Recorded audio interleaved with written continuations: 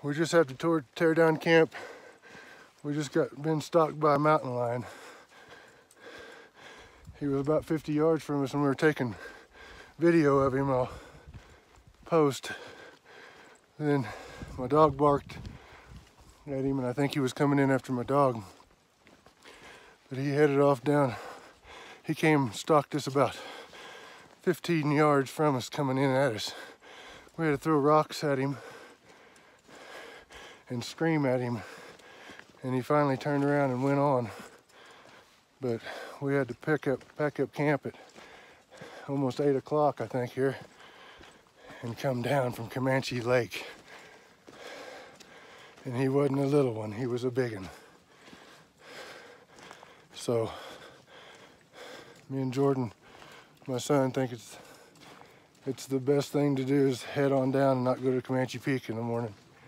My dad, I talked to my dad earlier on the phone and he calling the game ranger, telling the situation, how he got so close to us coming in on us like that. So anyway,